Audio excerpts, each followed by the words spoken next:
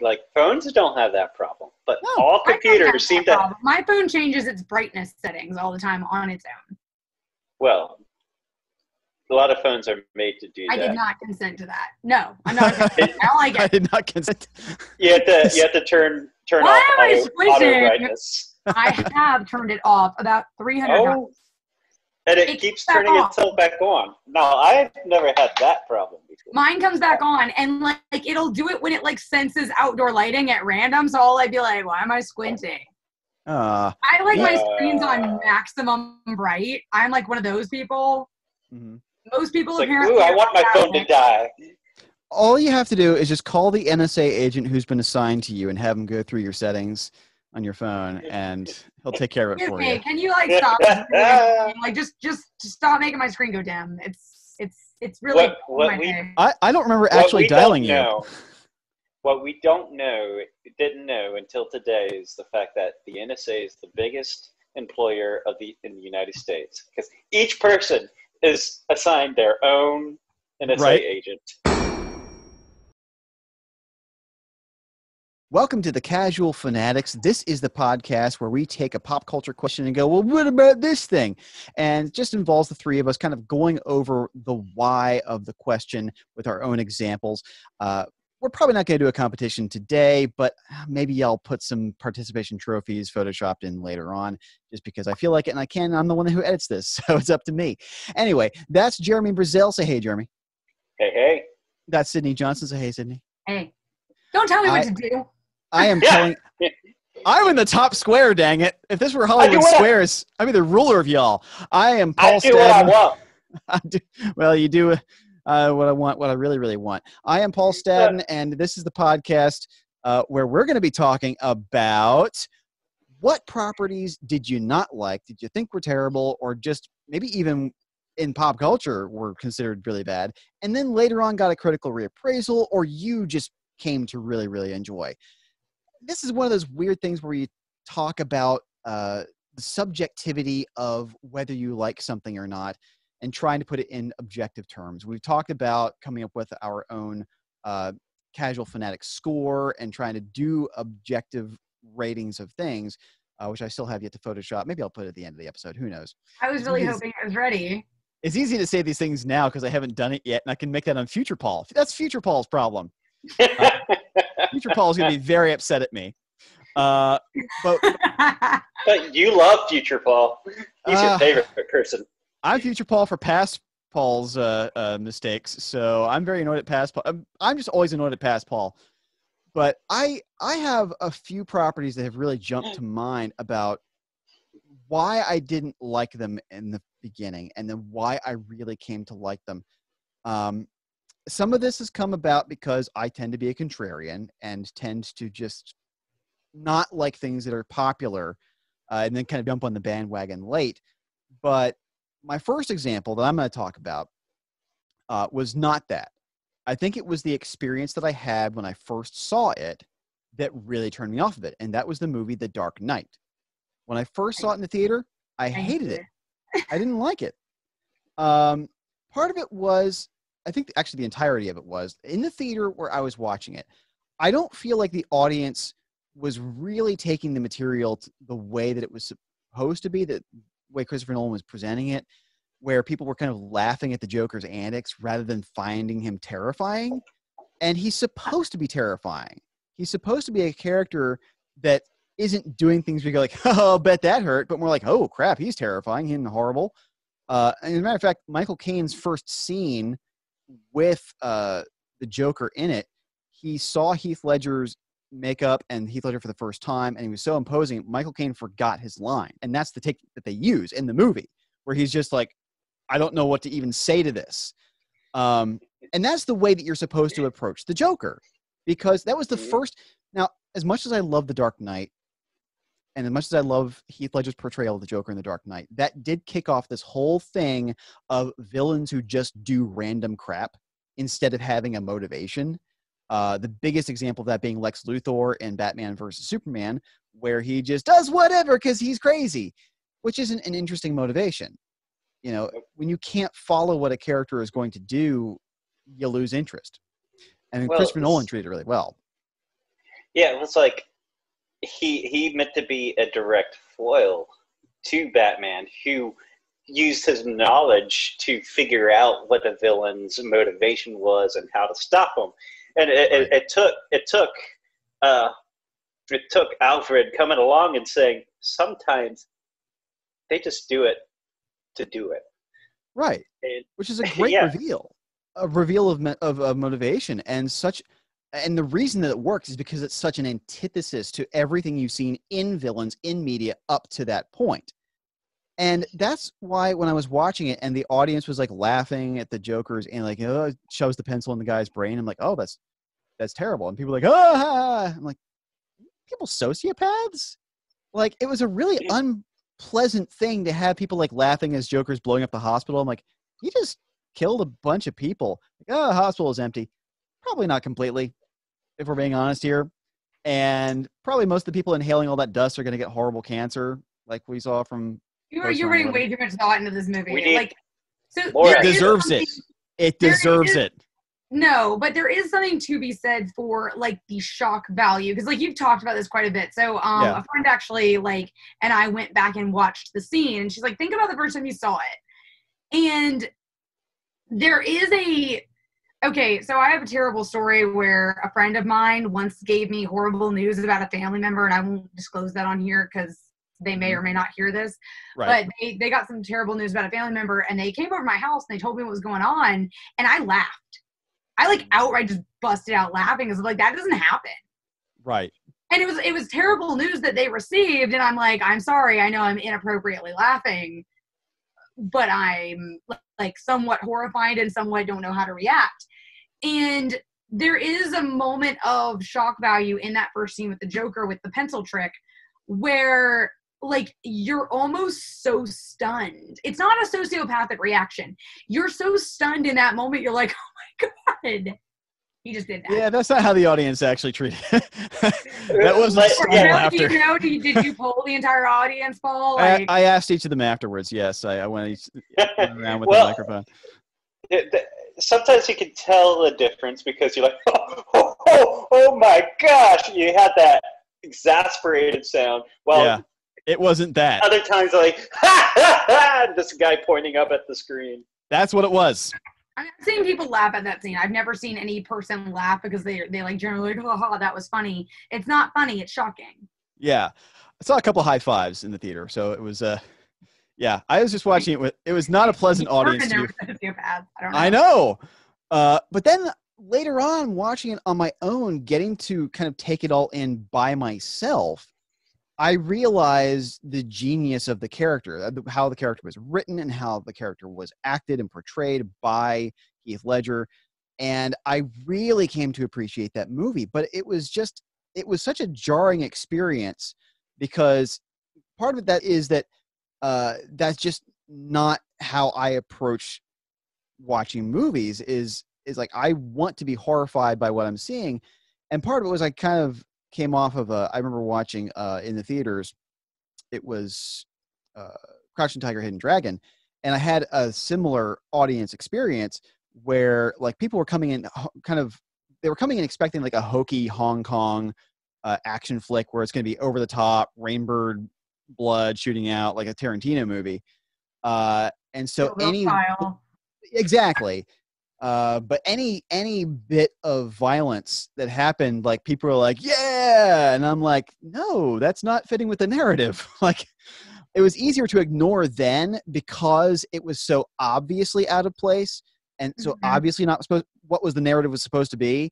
But with the dark knight i was just conflating the two and i was unfairly treating the movie uh like that was just kind of some transformers uh action you know violence orgy when instead it was a much more interesting uh, analysis of human nature of structure versus chaos you know structure of batman and the chaos of the joker uh, and how those two approach life and how they think about other people and how they think. So the critical reappraisal in my head i think was very necessary for that movie. That's the end of my point i felt i had to say that because um, We're just we, we, letting we you were just like, go. Like, do I have a microphone I can drop? Like, Done. boom. boom. All right. That's good. Um, but yeah, uh, what's funny is like my my my example like has nothing to do with like the audience around me or anything like that. Oh, It's you're just- just not contextual, huh? Yeah, well, it's like I just sat down and watched it, and I just despised it, and I, Okay. I and, and, and it just seems like something that I should love, and it's like, so I kept trying. It, it was like this this uh, Stockholm syndrome of sorts with Bob's Burgers. Ah, okay. So you didn't like it at first. Yeah, I immediately was like, I- "Oh, this is a cool show." You've said that before, and I'm shocked you didn't like it at first because it's right up your Yeah. alley. It's a hundred percent up my alley, and it's like that. That I, I kept trying to watch the first episode, and that was the mistake because there's this really cringy moments right at the beginning of that episode that I couldn't get through the first like five times I tried to watch it. Mhm. And it's like it's like okay, I don't want to I don't want to hear this person talk about their rash as she's flipping burgers at the. It's like fair. little things like that. It's like I, I it's like I can't handle this. I See, but I'm like, I'm already like, that's hilarious. Like I'm like, "That's just Man. real." that was just- that's just that's just life in a fast food joint, man. Like Yeah. All right, no But- calling in sick. Your burger has a rash now. That's how it is. But like I, I What turned I- it around for you? What turned it around? what what turned it around was the fact that I kept trying and I kept trying, and I started understanding that even just from that one episode, because I didn't go on to the second episode until I finished the first episode, and I started understanding the characters and how they were acting and things like that, and it's like it, it's what draws me to Futurama, is what draws me to The Simpsons. It most of my favorite shows is like, well, you know, you can watch one episode and it has nothing to relate to the other things, but there's this consistent character characterization of each person. It, it almost feels like you get to know who they are over Yeah. time, and th- the way they were portrayed just ended up drawing me in, and I was able to get past that first half of that first episode, and from that point forward, I just ended up starting loving the show. Like just seeing Tina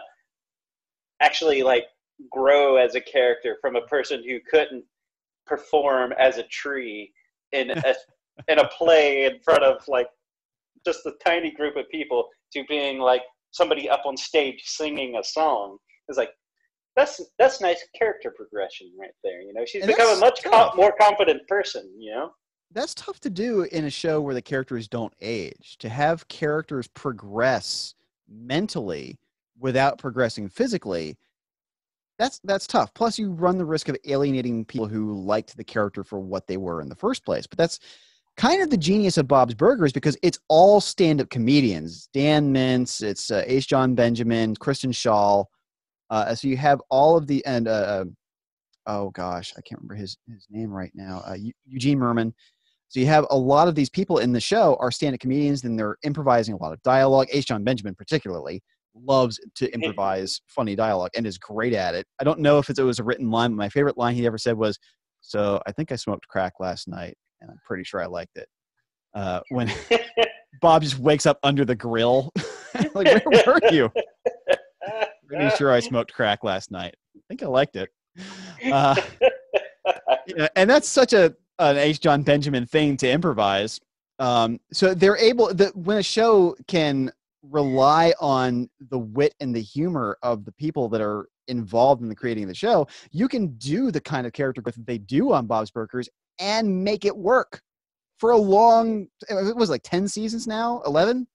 yeah we're going on season 10 yeah. season 10 yeah and they're making a movie out of it too so yeah I- it, it deserves it. Um i fell in love with the show with the beef squatch episode. Uh Beef squatch. that Yeah, was the that- one that was like little- okay yep this is amazing. Oh yeah, I mean, th- there's a lot of shows that do like holiday episodes, and most of the time, like if I get to it, I automatically skip it. yeah yeah Bob's Burgers Halloween and Thanksgiving episodes, I watch every single time. They they oh, do such like two bars. I mean, full bars is one of the the best holiday shows ever made. Like hmm. it, it was just this episode where you know the ace the a plot is the kids going to the rich kid where the rich kids get their candy and they have full sized candy bars that they're handing out and they just freak out over it and they try to stay there as late as they can but they end up getting stuck in the island because hell hunt starts because all the older kids start throwing water water balloons filled with pee and stuff like that at them Yep. Yep. so Oh, the, the. B plot B plot is cost, costume contest. I mean, in co- costume party where Bob accidentally kills Teddy's gerbil. Pet but he didn't really. he, he well, he did it on accident. Yeah. Well, actually, it was But wasn't the gerbil uh, sat on or something? Or I forget how. how yeah, he, he was trying. He was trying. Like he didn't come with a costume, and he, Yeah. Teddy was like, "Put one of one of these on." So he decides to put on the sumo costume. While he's trying to put the sumo costume, he rolls over him over and over. Right. Right. And then, Aw. Doesn't even know it. Doesn't even know it. Teddy's so great. Like Bob's like, Teddy, you're gonna you'll eat anything. He's like, that's not true. That's not true, Bob. Here, eat this. What was that? It was a sponge, Teddy. You, you fed me a sponge, Bob. Like, Why yes. would you do that? Well, you didn't have to eat it. You ate it. Uh, speaking of Yeah. SpongeBob, uh, that's actually my other example. Uh, well, yeah. how about that for a segue? I mean, I guess just go, Paul. I just take. No, I the can't- joke. I had I, I I will talk about Sponge. I don't want to I don't want to hijack to my thing, but I, how about how often do you get that beautiful of a segue into your other You let me example? Go before Jeremy, and it would have worked. I know, I know. oh well. Anyway, I'll I'll get to, I'll get Too to late. that later. So, uh, Oh but my Sydney, what was your what was your example, Sydney? So, so my movie example um, is actually probably still really unpopular, um, but it's Hannibal Rising, the movie. Oh, wait, you is that remember this? the 2001 with I- Anthony Hopkins and uh, No. No. This is this Hannibal Rising is the prequel. Oh, that's right. That's right. That was just Han- right. That was just Hannibal. What am I thinking? Um, no, Hannibal Rising. Oh my Seven. gosh, I forgot this existed. No one remembers it exists except for me. And okay, so I okay, this movie, the critical reviews of this movie are really bad. I had to go look them up. It's bad. Mm. Um, I mean, You it had the really was- tomato rating on there. The Was it- yes, was it hang on, I have it. It is. It got a sixteen percent. Ooh. Ooh, ooh. Sixteen percent. Um, it was also apparently nominated for two Golden Raspberries, but didn't win. They were for worst prequel sequel or worst excuse for a horror movie. How, That's how, fair, yeah. Okay, I, I gotta ask. Not fair, actually. What what worse what worse prequel sequel came out that year?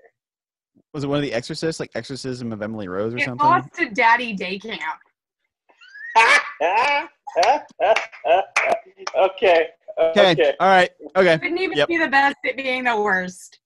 Um, so I, of course, like being being the lover of the Hannibal series that I am, like when it came out, was a little dubious, but watched it. Um, and I watched it on DVD. I didn't see it in theaters.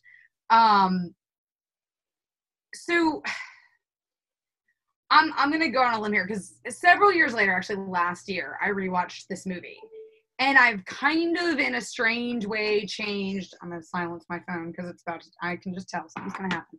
Um, Talking about Hannibal, somebody's gonna call you like, no, don't say you like it. Don't.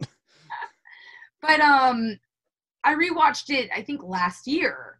Um, and actually, it kind of reversed my opinion on it. Um, and I the the reason this came up for me, and that's how actually how I came up with the topic was this film. Um, is I rewatched it last week again. I'm like, okay, I just I, I have to make sure that I'm right about my opinion this time around Um, because I'm.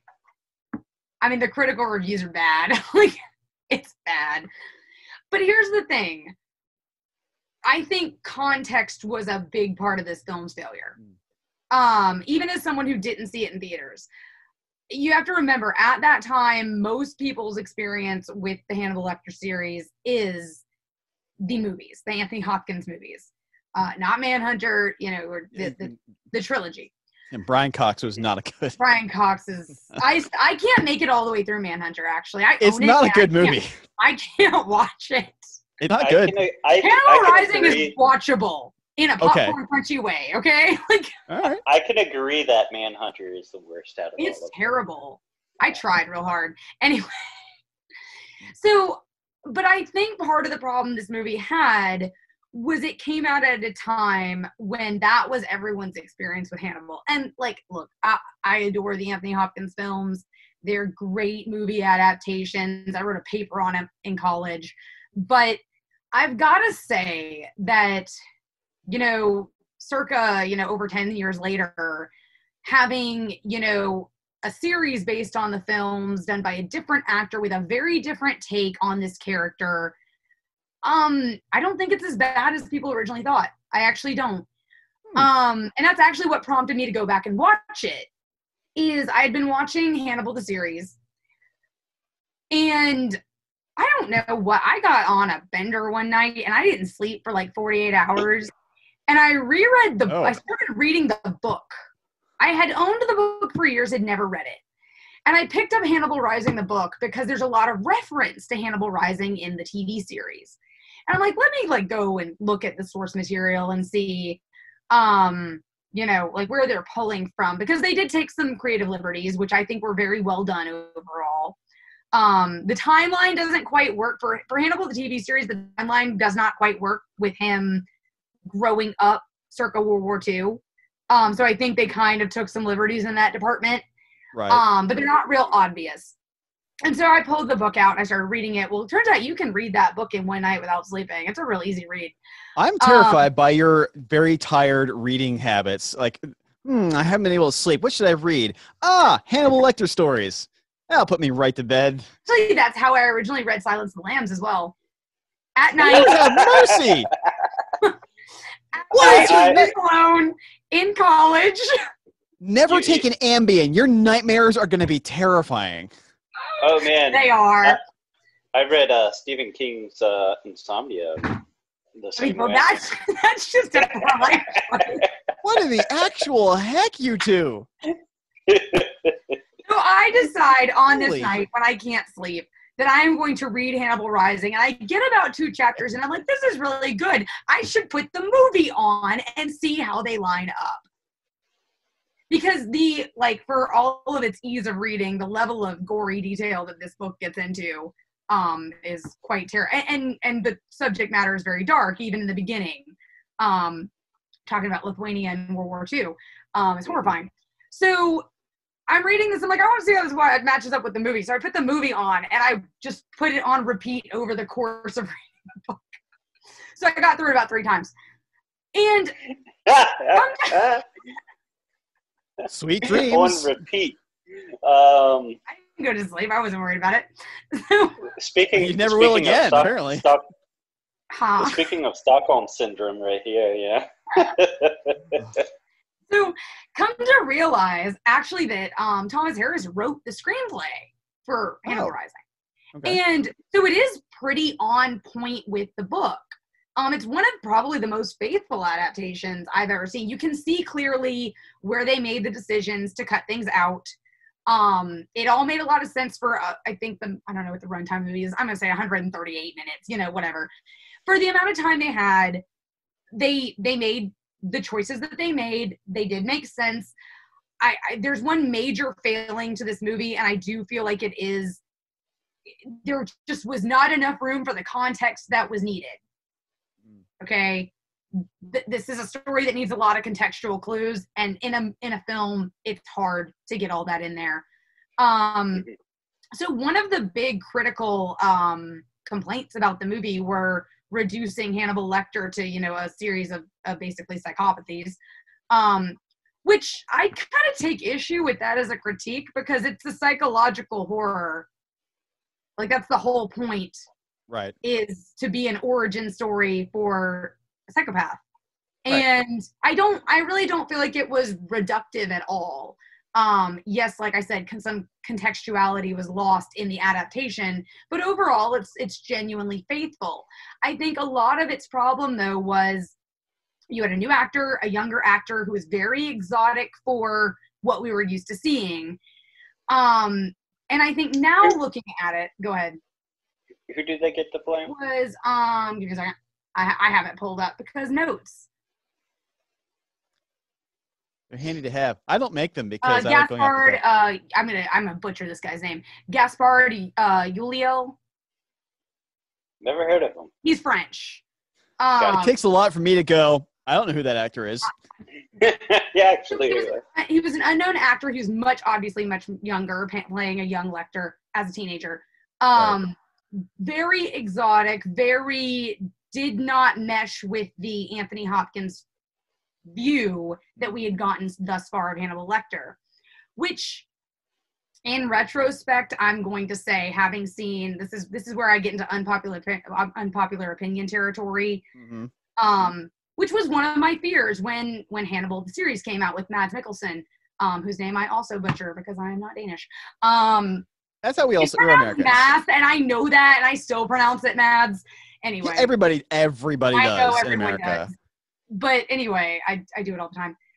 But um, it was one of my fears with that as well. But honestly, when you go back and you look at the source material and you read the books, that is a huge part of that character that I really think all all honor to Anthony Hopkins' performance.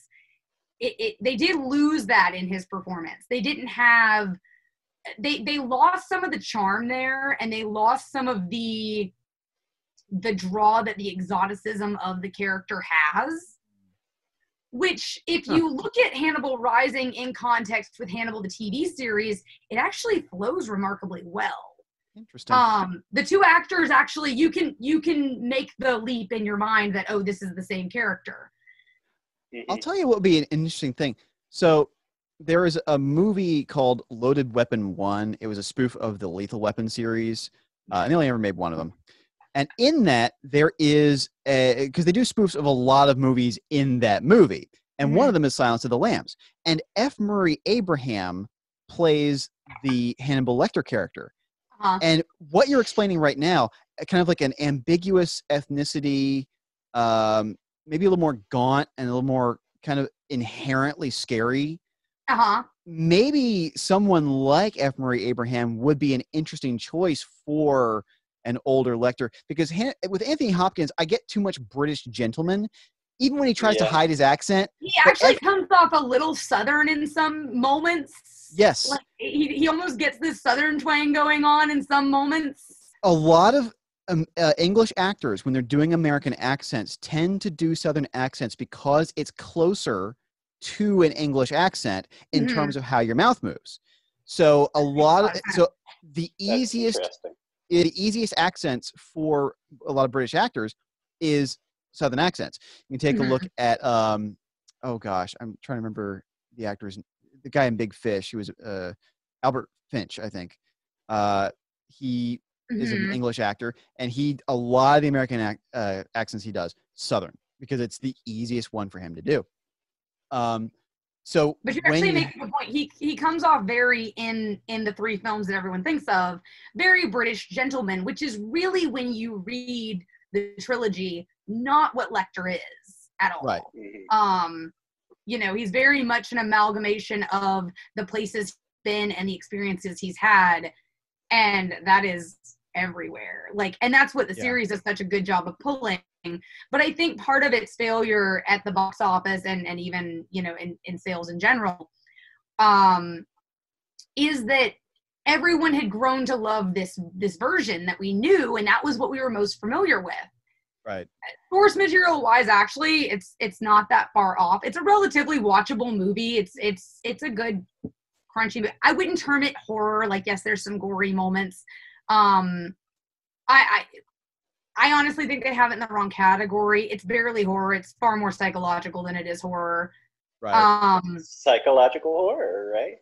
it doesn't even veer into horror though it's not there's no part of this tale that okay like growing up watching silence of the lambs as a very young girl like there are some things in that movie that you're like, don't ever do those things. There's kind of I- that I- kind of I don't have nearly as much context on Hannibal Rising, so Mhm. you could be- be very right about that. Like I, I I would argue till their death when Silence of the Lambs is horror, but I don't have Yes. enough context for. I would I would challenge I may Right. challenge you to watch it because I would love to hear your opinion. It really doesn't fall, I don't feel fully into the horror genre. Right. It's not scary. So it's an interesting little ride, Right.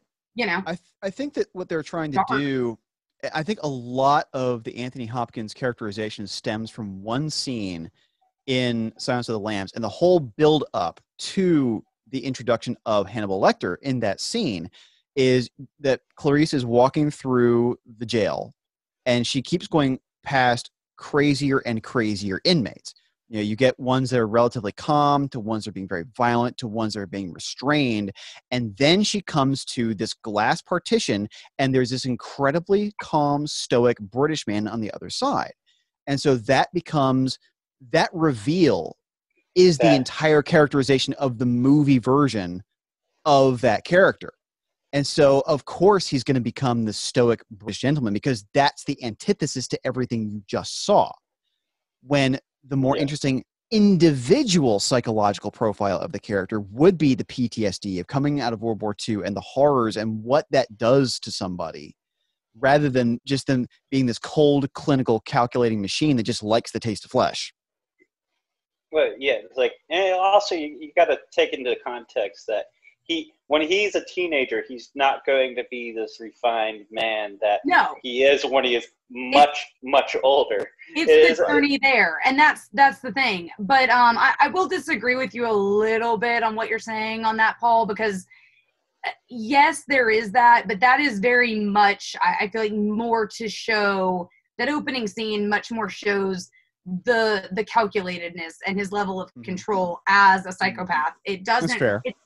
It, it's not so much to do with um you know his his background or his nationality as it is what he's turned himself into and and he is very much that throughout um you know the stories that we see him in except in the very beginning where we see him becoming it See, I think this is actually why I like the idea of having a more unknown actor in this role, Mhm. because when I see Anthony Hopkins as Hannibal Lecter, I think about the entirety of Anthony Hopkins as soon as I see him. I see the Elephant Man. I see uh, Howard's End. I, I see all the things that he's been in in my head the second I see him, and I think Yes. British dude. It's the same problem with Benedict Cumberbatch being Doctor Strange. I'm like, oh, it's not. Oh, that's Doctor Strange. It's oh, there's Benedict Cumberbatch doing an American accent. How about that? And it's not Southern for some reason. Yeah, And I So- think that was actually that was some of the brilliance in this movie that kind of got missed, unfortunately, due to contextual issues. Mhm. Um, and in in Hannibal the TV series, where we slowly started to realize it, we are like, oh, hang on, this isn't what we thought. Because the beauty of bringing in, you know, someone like Mads Mikkelsen, that's not well known at the time in America. He was not the actor he even is now, and he's still not that well known. But he's he's in, in, I mean, he's known now, but he's not Anthony Hopkins. Um, Right.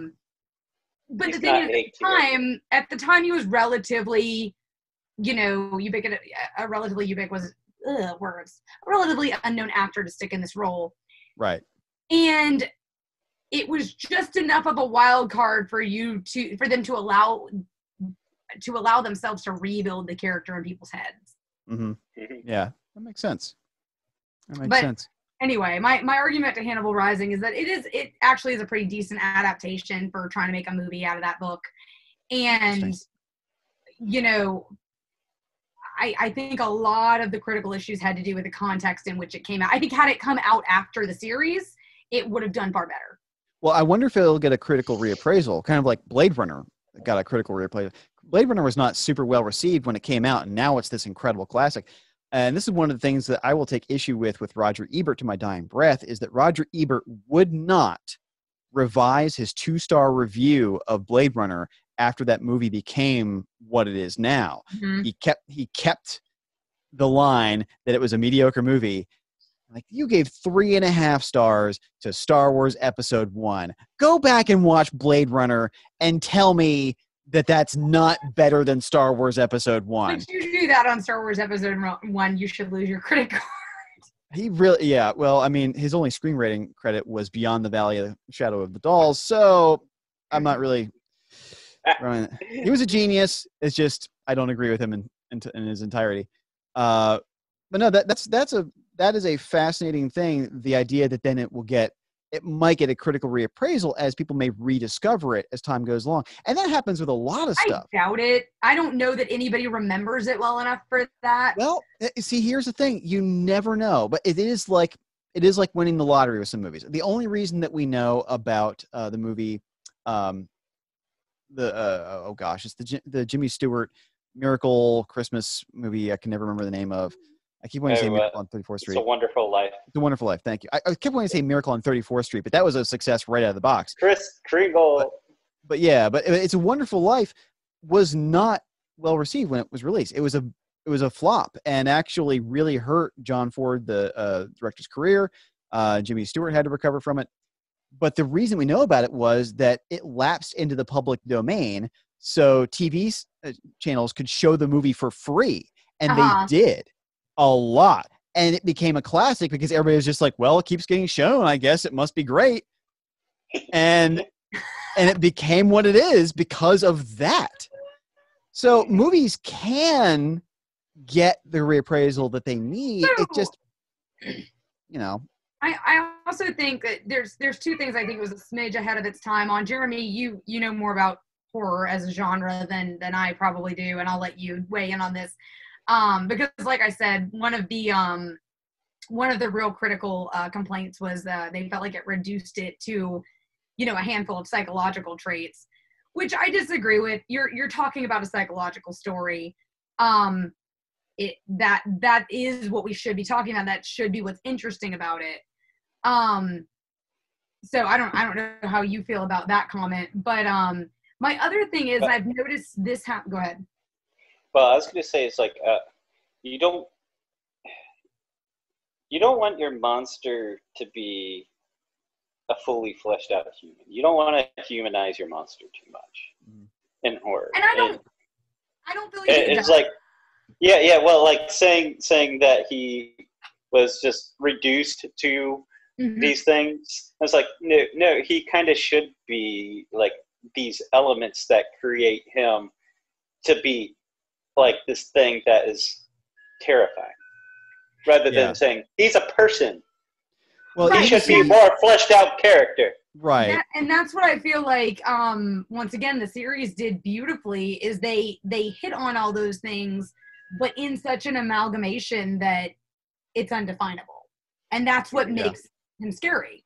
Right. Um, i- is because this this is a monster that's unpredictable and doesn't seem like a monster. It's a it's a fatal mistake that the the remakes of the Halloween movies did. oh, yeah. They they humanized Overly. Michael, yeah, Michael Myers. It's like, why would you do that? The genius of the kid is putting on the mask, and that's all you know about his background. See, this is He's why. much more of a monster. That's Right. why you can believe when he gets shot in the face with a gun, he's suddenly back. Right.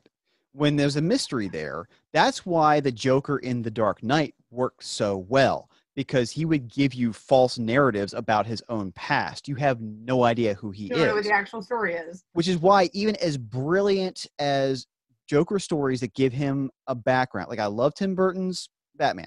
Uh, It's it's great, but knowing that the Joker is Jack Napier cheapens it. Uh, even uh, the Killing Joke. The Killing Joke is a great comic and a great uh, uh, adaptation into live, not live action, but into animation with Mark Hamill as a Joker and Kevin Conroy as Batman.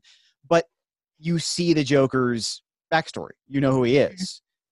What the genius of the Dark Knight is is the Joker keeps he's an unreliable narrator. He keeps giving you a different story for where he's from and how he got his scars every time, and you never know his background. Same with the animated uh, Batman animated series uh, Joker, even though they, there was a throwaway line in one of the episodes that he was Charles, uh, Jack Napier, but they contradicted that later on anyway. But not knowing the history of the person is very important for making them a monster. Even if you go through all the steps of wiping away the humanity and you see the humanity wiped away, what you're left with is still a human being who's flawed rather than a monster. Um, and because when you see the person being a human at any point, you lose them being a monster and it's gone. I have nothing more to add to that. I, I keep expecting. I try to. I try to leave space for you guys. I, we just like feel uncomfortable, so we just stare at you when you do that. like, it's like okay, okay. Uh, but actually, like the thing is, I'll I'll make the argument. Like they actually do the book, both the book Hannibal Rising and um, the series, and, and to some extent the movie, with its lack of context, does a remarkable job of that. Um, there is quite a bit of unreliability in the story that you're getting um, okay. The TV show is able to take that further because the timelines don't quite match up with the original story, and they leave a lot of it up to your interpretation. Mm-hmm. Um, and and he will never really tell the story is the thing. Right. So you don't really know. You know, we we all kind of know what happened. We think, but he he will never say it. Um, much like the Joker in The Dark Knight. Um, and also, he doesn't give the responsibility for it to that. Mm-hmm. And that's what I think makes the, the TV Hannibal very, very interesting as a character is yeah. he takes full responsibility for what he does. He doesn't put it on this happened to me. Right. Mm-hmm. Right. That's very so, that's very interesting. Huh. But anyway, I will say I think I think there's some merit to this movie that just got slammed when it came out. Is is my point? so yeah, well, it's not as bad as we thought. so action thriller. So speaking speaking of pineapples under the sea. Yeah. Yeah, yeah. Speaking of uh, sponges and bobs, what a transition! Hannibal to SpongeBob SquarePants. I got the bends from now, bye. like, uh, so yeah, when I was let's see, 15, no, 16 years old when SpongeBob SquarePants came out, 1999. And I eh, have been my entire life a huge animation fan. I love animated things. Uh, Looney Tunes, probably the, my favorite single animated thing that has ever been. Um, and when SpongeBob came out, I hated it so much. This annoying sponge, and, and part of it was I think the environment when I was first watching it. Um, you know, I was very much from the world of Ren and Stimpy, where I I loved uh, the weird stretch and squash that and John Chris Kricfalusi's kind of dark humor, which can't like John Chris Kricfalusi anymore. Thank you, John, for being a weirdo. Um, and I came up. I came from the world of very dark. I loved uh, like Akira and very dark anime like that. So then seeing SpongeBob SquarePants and just this annoying yellow sponge and his dim-witted pink starfish friend and the annoying squid neighbor and his skinflint crab boss and I just like this is the dumbest thing I've ever seen. I don't understand why people and and people kept talking about it. Like, I mean, to be fair, that's still my opinion. And well, hey, that's fair. Um, you can hold opinions however you want. Uh, and the thing is that then along comes Invader Zim, which I really, really loved and still love to this day. And it was gone in like a year and a half. And I, I tend to blame some TV shows for the loss of other TV shows. Fair. Uh, I blame Pokemon for the death of Batman and Superman, the animated series. I blame Power Rangers for the death of the Sonic the Hedgehog cartoon because they were on competing time slots. Uh, and I blamed shows like SpongeBob for the death of my other various favorite shows, including uh, Invader Zim. So there were a lot of years where I wasn't giving it a chance. Uh, and then the mo- that's fine. And then the movie comes out in 2004, and SpongeBob had been off the air for about a year at this point. Uh, they made the three seasons, and it was kind of it for a little while. And then I started going back and watching some of the episodes and really trying to, uh, kind of like you did with Bob's Burgers. I was like, okay, well, it's this cultural phenomenon. Everybody loves it. And I started like, okay, it's okay. There are some episodes that are okay. and then I started liking it more and more. And then the new season, uh, they made three new episodes in 06, um, and then a full new season in 07. And by that point, I was really getting on board with this. It was very strange. Were some people who come from Spumco, John Kricfalusi's old uh, animation unit, um, and they were kind of contributing some of that Spumco humor, some of the uh, Ren and Stimpy humor into it. And I realized that they'd been there the whole time. And it really was to me a revitalization of the anything goes kind of mentality that I saw in early Ren and Stimpy and in Looney Tunes. And some of the brilliant writing and the exploration of character. The brilliant thing about SpongeBob, early SpongeBob, basically after season five, you can just go ahead and pretend it does not exist because it's there might be a sporadic episode here and there that's actually good, but it's very hit or miss. But those, but the first three seasons and most of season four and a little bit of season five really explore characterization very well, and they do this with making the characters actually seem like real people because they give them motivations. And even though they're very exaggerated and very cartoony, because it is a cartoon, uh, they each have a why and they each have a grounding in who they are.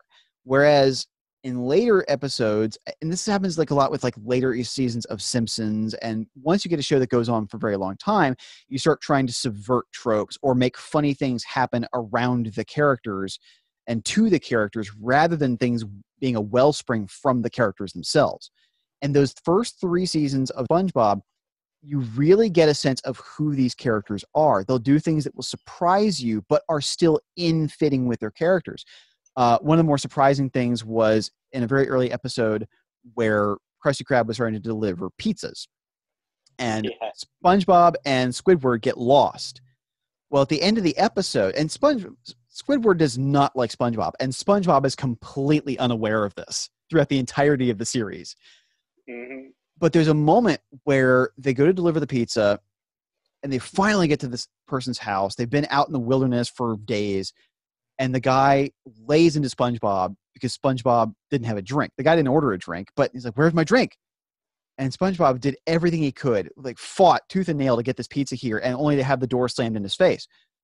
And there's this moment where Squidward feels so bad for SpongeBob that he picks up the pizza and throws it in the face of the customer and this is something that would not happen in later seasons of SpongeBob. This is a very this is a very human moment where some where you see a character that's known for not having empathy having empathy because they get to see this person finally as a person. And it's a very interesting moment. And so I saw all these different interplays in this series that I hadn't seen before because I was dismissing it outright. And I really kicked myself for doing that because I missed the heyday when it was happening because I'm a contrarian. This is me. this is this is all just an AA meeting for me. so you can get the your, is. you know this whole I feel that, I feel that way sometimes. Uh, yeah, this whole show that we do is just me being like, "Hi, I'm Paul." Hi, I'm a contrarian. contrarian I'm a contrarian. Hi, Paul. So. Hi. What so, is your uh, contrarian story for today? SpongeBob. SpongeBob. SpongeBob in the Dark Knight. Uh, plus, Pantera was in an episode of SpongeBob, so that alone should have made me really love them. Um, but yeah, and there's so many moments that are, it's a very memeable they, show. They had they, they had a very like a. It was the very, office. Looney Tunes episode very early on too. Yeah. Uh, if you remember uh, Squidward, there's an episode with Squidward and he's trying to play his clarinet, but every time he tries to play his clarinet, some sort of weird noise is happening outside of his house. Yep. I remember that episode actually. yeah.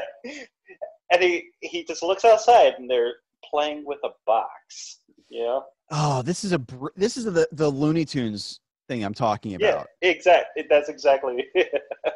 so for those who haven't seen the episode, um, the, Squid, uh, uh, SpongeBob and Patrick are outside playing with uh, like a refrigerator box out in front of Squidward's house, and Squidward keeps hearing these sound effects coming out of it. That are amazing, like the perfect sound effects, like the like uh, uh, SpongeBob and Patrick are climbing up a mountain, and you hear the rushing wind and the, the pickaxe going into the rock, and then you hear an avalanche, and Squidward will open up the box real fast, and it'll just be them sitting there. And, and- and all of this would always happen right before he's playing the clarinet. Of course, immediately. Um, so it's, it's those kinds of things where they really try to make it a cartoony thing, but like they'll have Squidward acting like, no, this isn't a cartoon. This isn't supposed to happen. so you get the little bit of subversion of Daffy the tropes in there too. Daffy Duck, Bugs Bunny type stuff going on Right. there. Yeah. Right. But I the instead, reason I hated this show is I was like right on board with Squidward. I'm like, no, no. oh, I'm totally. Squidward is completely correct. The episode where Squidward accidentally uh, tries to kill SpongeBob with a with a bomb that's a pie, maybe the great. There are things that happen in that show. Like, how was this on kids' TV? There's an episode where uh, SpongeBob and Patrick take Mr. Krabs on a panty raid.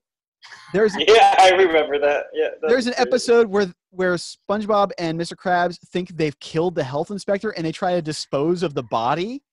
That's one of the best. ep- The That is moral of this top five. story. The moral of this story is kids are far less impressionable than you think they are. Really? Like there's there's one where uh, uh, uh, uh, SpongeBob and Sandy are trying to escape this gigantic uh, sea worm. It's kind of like with the creatures from Tremors. Oh yeah. And Push. yeah, they push the. What if we just push the city out of the way?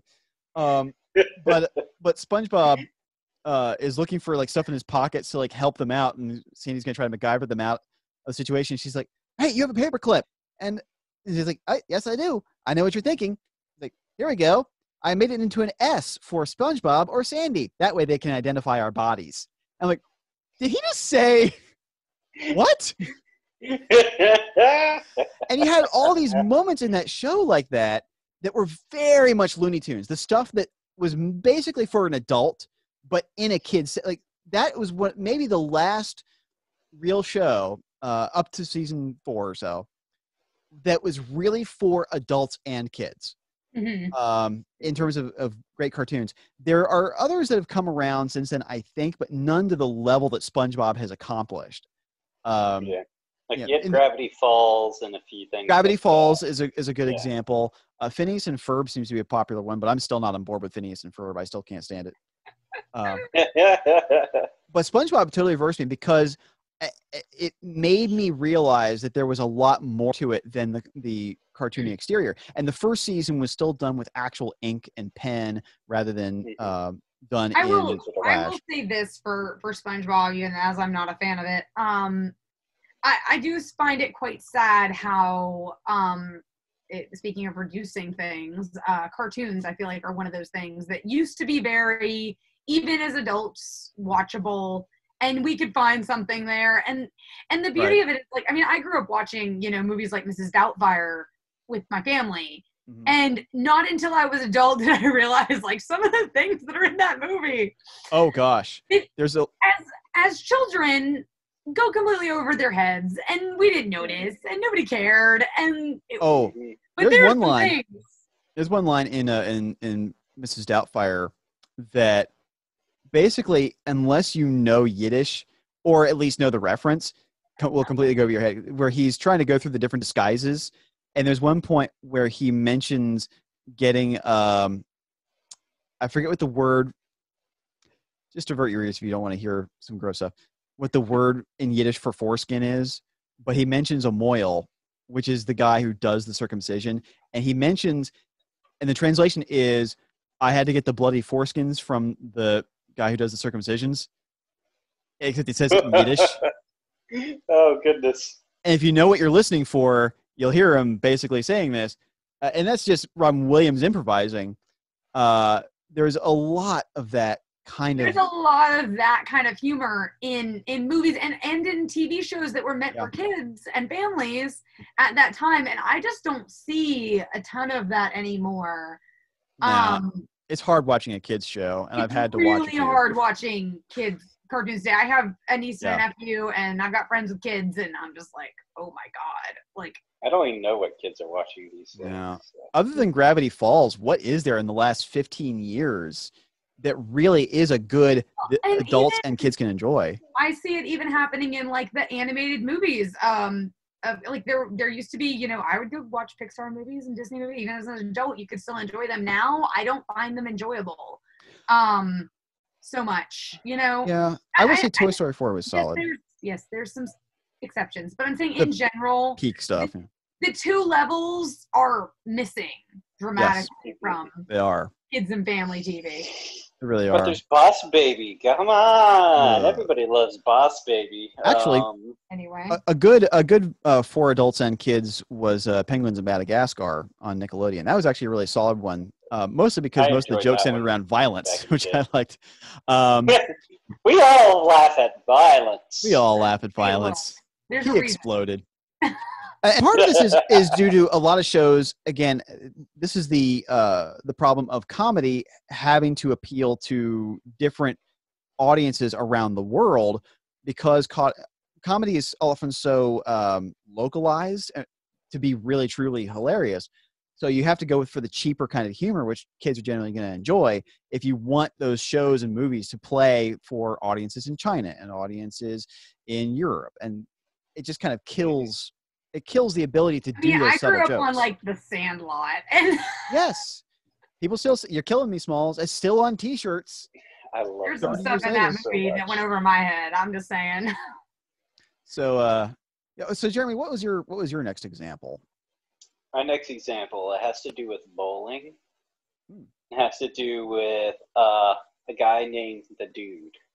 Oh gosh, Ah, you, didn't li- you didn't like The Big Lebowski when you first saw it. I hated The Big Lebowski the first time I saw it. That is such a you kind of movie, though. I'm shocked by this. it was like first time I ever watched it. Uh, I had a group of friends over at the house, and uh, we did a movie night. And another one of my friends like, "You have to watch this movie. If You watch this movie. It's like my favorite movie of all time." And it's like, "Okay, we'll, we'll watch that. Watch that movie." And like part of the way through, you know, see the thing is back when you're back in high school. All right and you have a group of friends over, you know, you're going to be talking a lot and stuff like mm-hmm. that, even during the movie and all that stuff. So we're we're all kind of watching the movie, and I just completely lose interest because there's no there's no anchor in that movie because it's all irreverent. It's all Yeah. pointless stuff that just happens to this guy. And that's kind of the whole point of the movie. And it just completely went over my head because I was not paying close attention to what was going on. yeah So I ended up disliking it, and somehow I ended up watching it a second time. That second time, I liked it more. I was like, oh, this isn't so bad. Now that I'm actually seeing what's going on here. And Right. then I watch it again, and again, and again. Now, I've watched this movie so many times now. I, I'm not sure if there's a movie, like maybe Terminator 2 is like one of the few movies I've seen more than this movie. And that's because when I was a kid, I watched Terminator 2 a million times. You're too like Sydney's falling asleep to Silence of the Lambs. You're a toddler with Terminator 2 playing. I love this. This is fantastic. hey I watched Terminator 2 for a while as a kid like Oh gosh, yeah, I loved that movie. my That- early teens were filled with Terminator and Mhm. all kinds of terrible dystopic action films. Good. Yeah, So- it- it- Look, Silence of the Lambs taught me not to pull over on the side of the road and help you.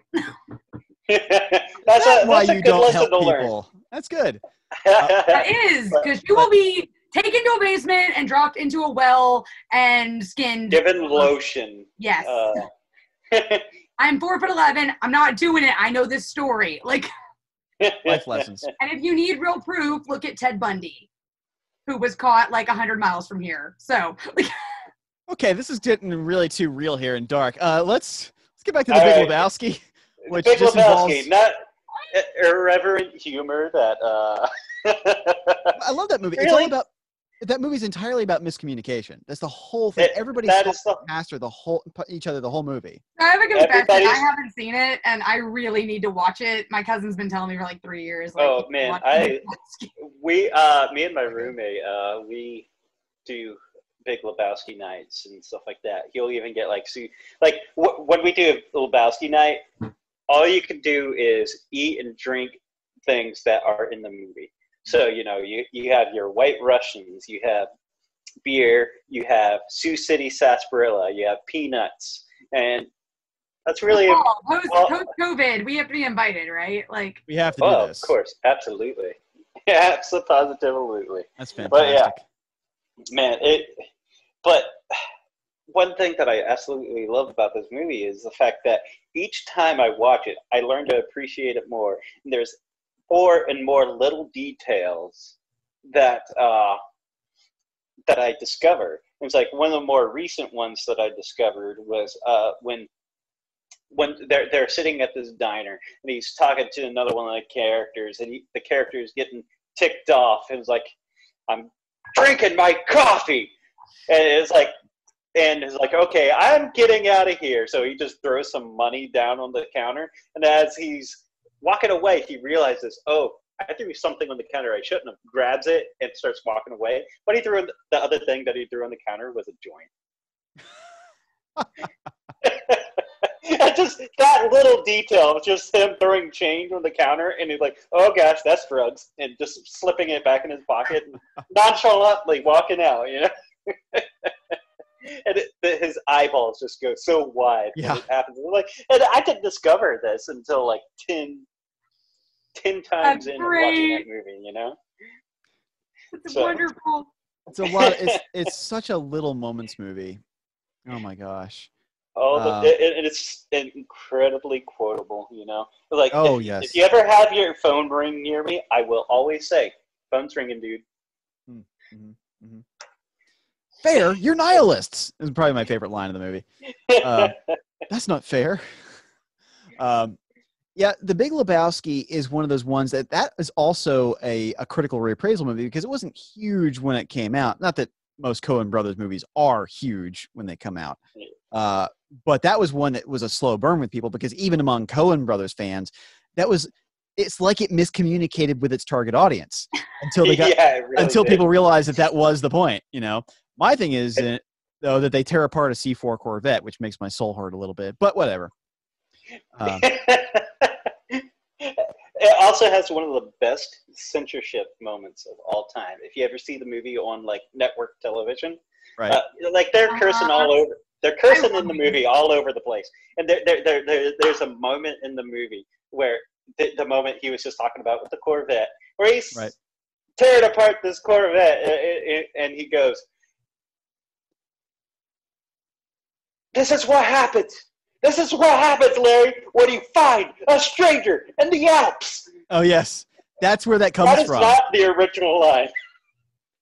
but that's but that but like if you've seen Dragon Ball Z abridged, you know, that's exactly Yeah. and yeah, that's uh that's fantastic. I I did not realize that's what my favorite. Okay, my favorite TV censorship moment of all time has got to be in Die Hard when they make it yippee ki muchacho because it says it so many times and it Yeah. does it's not cool it doesn't sound cool and he says it like it's cool yippee muchacho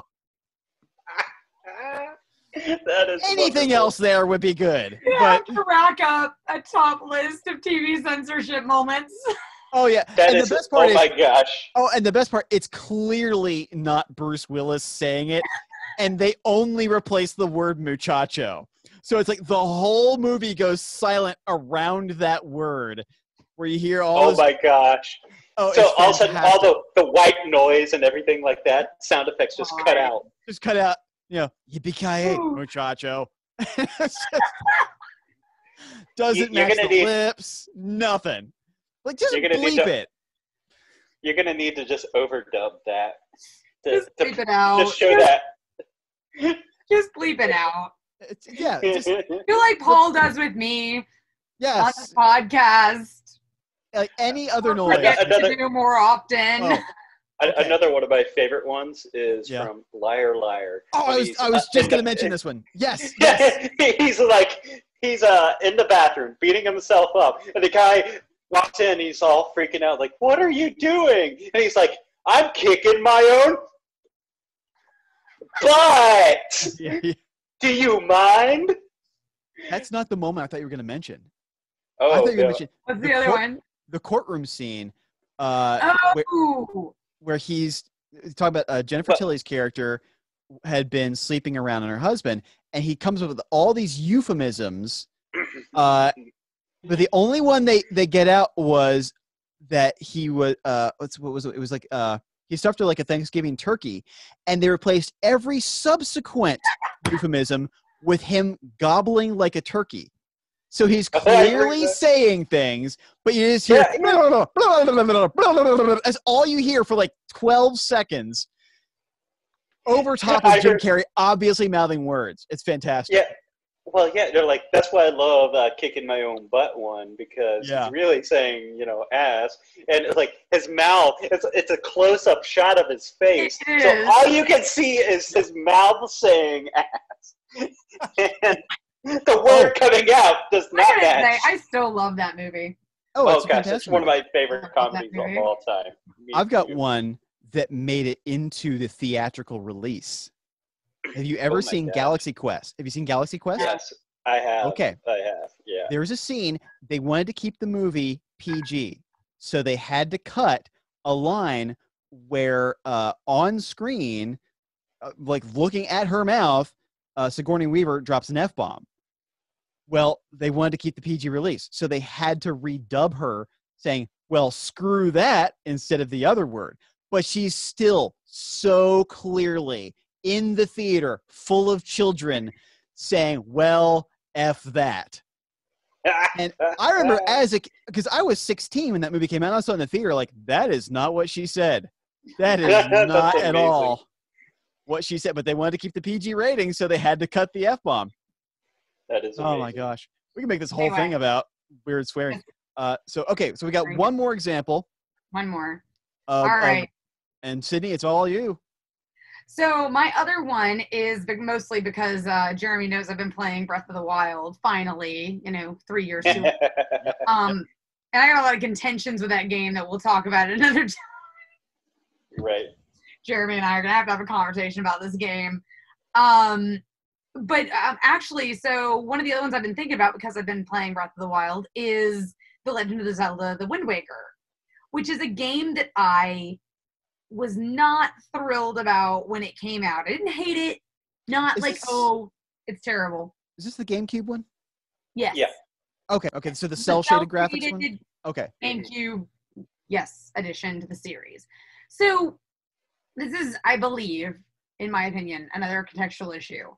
Um, it's not that the game was was horribly received. Um, I think there was there was some kind of like mm, about it. Um, I was definitely in that crowd because up until then we had come off of uh, I think Ocarina of Time was right before that, and Ocarina of Majora's Time. Mask, Majora's yeah. Yeah. The two that like two of the greatest games the in the series right before it. the two. The two. And- yeah. up if you had been following gaming news at that time like everybody was was aiming at a more photorealistic zelda we thought it would just be a natural progression into what later became twilight princess um It- It also didn't help that you know they had the demo of the GameCube show a realistic Zelda as It did. well. it, and and it was it is very much what later became twilight princess i think um they they took a lot of the work that they did um but they did they were teasing at a photorealistic somewhere along the way they took a left turn and decided to do a thing with these Big eyes. cartoonish Yeah. cel shaded graphics Yeah. and we were all like okay i guess we'll give it a shot was not what we were there for Right. so we we got this game and and i played it when it came out and and it's not a it, it never was a bad zelda game i'm not going to say it was it was Right. definitely not what we were angling at at the time um but what's funny is I, I didn't care for it. Um i also didn't care for at the time where they took the mythos. Um because it was a real break with the mythos of the zelda games at that time. Um taking it kind of you know into several hundred years later and what's happened to Hyrule and we have different races we're dealing with now in different areas and It really is the first one where you saw there's clear evidence of an actual timeline. it is It is. It's the first time it was not just like theoretically these could be the same character. There was a lot of debate in the fandom up until that point, and then Wind Waker came out and said, "Stop debating." now you see what it is, and we were all like, "Okay, I guess that's fine. You can do that." Um, and I, I, still I still have my reservations about that aspect of it. What I what I still don't like about the game is that it did lead us to what later became Phantom Hourglass, which I draw the line at steam trains. Got like yeah. Zelda, no, no trains. I like it. Would not play it. Phantom Spirit Tracks is great. And, and, the the other one that came after it, those those two were no. Phantom Phantom Hourglass was eh and then the one, what was the one? A Spirit but Track. Spirit Tracks. Spirit Tracks was fantastic. Was it? Because I couldn't. I, oh, I saw yeah. a train and I was like, no. Um, Very good. Stop putting trains in my medieval fantasy land. Um, That's a good point, though. So that, that that was where I drew the line. But I later on coming back to it, I actually do to this day adore Wind Waker as its own little game. Um, and as a as an addition to the Zelda series. Um, it's one of my favorite Zeldas to pick up and play, like just out of nowhere. Just it's always fun. I actually think now, looking back on it, the graphics have aged beautifully. Cel shaded graphics yes. age great. Yes, always. There's a first person shooter called 13 that the gameplay is pretty good, but they did the whole thing in cel shaded first person graphics, mm-hmm. and mm-hmm. it's still. I mean, that game is. I think it came out in like 07 or so. Mm-hmm. Uh, and had a lot of you know A-list actors yeah. at the time, like David Duchovny. I think it was earlier than that because that was a GameCube game as well. Earlier than that. Uh, but anyway, so like, but the other thing is that they did do an HD re-release of the game on Wii, Wii U or yeah Wii U. Wii U. Yeah. Um, it's and phenomenal. actually, I have not played that version, but I heard that they removed a lot of the the one portion of the game that was very time consuming and monotonous. Hmm. Um, yeah, which I they, think they, was, they made it quick. They streamlined it. Yes. they didn't remove it, but no, yeah. I know. But what I um, uh, which I think was an excellent choice because it is the one part of the game that does really drag on you. And honestly, when I replay it, it's a lot of the times it's where I stop. Mm-hmm. Um, a lot of people have do. the HD version. I have the original. Um, I, have stopped there too. I've, I think everyone who's played it has stopped there. yeah but it's a, it's a beautiful little game. It's fun to play. It, it's enjoyable. It's got a great story. It like I said, I don't really love what it did the, for the mythos, but as its own little mythos, I think it's it's cute and quite quite well done. Mm-hmm. Um, and so like for a game that I originally hated, honestly, it's probably m- one of my most picked up and played Zeldas behind Ocarina of Time and Majora's Mask. Um, I, I still, I honestly, when when Twilight Princess came out, that was the Zelda I'd been waiting for.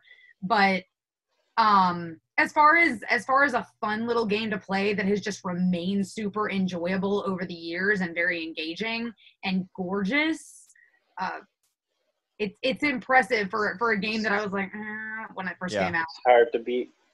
So it really is. Up, so this is, and I'm, I'm going to make this point. Uh, we, we're going to have to wrap this up in just a couple of minutes. We're getting close to the end of our time. We're our self-imposed times that we're trying to do these days. Uh, but one more point I, I want to make about that is I love that they're doing uh, all these kind of HD remasters of games where they're fixing little bugs and little problems. This doesn't really make its way into any other medium. If a comic book sucked when it came out, that's it. That's the way the comic book is forever. Movies might get a director's cut, maybe, and sometimes they're worse. I'm looking at you, Blade Runner. And I think that games can do something that you can't really do in a lot of other mediums where you can go back and you can say okay in ocarina of time nobody likes the water level so maybe we'll make it easier to get your boots back on and we'll make it easier to go through. You don't have to keep going back and turn off the switch and going in your inventory all that kind of thing. So they make these little things better uh, like a half-life source and all this kind of stuff. And you can't really do that elsewise. And so games really have an opportunity more than any other to go from something you either don't like or frustrates you because of one small thing to being genuinely great. And I wish that they did that more often. You know, it's kind of a shame some of these games are like mid-level releases or were good enough, just don't get that kind of yeah. second opportunity. Uh, and I'd really like to see that more often.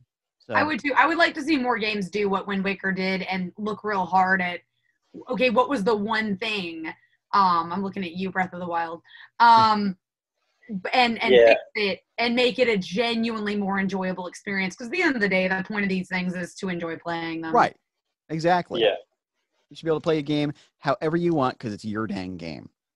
You bought it. You paid money for it. yeah That's why I like. That's why I like. I miss cheat codes. I miss cheat codes in games. That's such I- not a thing anymore. I- Like, what if I want to be able to? What if I wanted to have God mode right now and go around? I, just I totally miss cheat codes. I, you know, those were fun. Sometimes, sometimes I don't want to have to try. Right. I've gone through. I I've gone try through. Doom. I try hard enough in life. Yeah, I've gone through Doom a dozen times. I'm gonna do Doom with God mode on and not feel bad about it. So there we are. That's our discussion about things that we started out when I'm like, ah, this isn't very good, to being like, no, this is actually really great.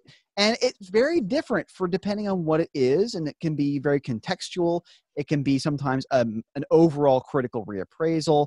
So tell us your examples. What are your examples of either properties that you went from loving to hating or hating to loving or what was what needed to get a critical reappraisal in either direction we'd love your examples and we're going to talk about this kind of stuff more we'll get the rating system up uh, i promise you it will happen at some point soon and with that i'm not going to let you guys uh, counter me on that because uh, i have to maintain some sort of control so i'm paul Stadden. that's jeremy Brazell, and that's sydney johnson until next time we're the casual fanatics bye Ah! You two are the casual dramatics. I'm not. I'm not. I'm going to end it with that statement. That's that's the perfect ending statement.